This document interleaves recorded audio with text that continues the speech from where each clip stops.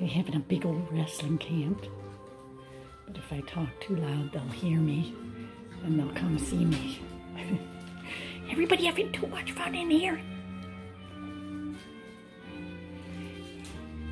I have to say, someone asked for a little temperamental assessment, and so far I'm real, real pleased. They started out, hello JP, a little fiery, but like that kind of thing, but they both take, they all take turns, and then what's really cute now is they're getting that if somebody does get a tail or an ear, and it's a super loud squeak, they're stopping. So I'm really happy to see that. And um, of course with humans, the thing is always true, and I may have mentioned this in my last video with Staffords. They just, that's why I'm not too worried about the whole quarantine because they're just natural for people no matter what. But this group, oops, there's some genius to the pee in the wrong spot.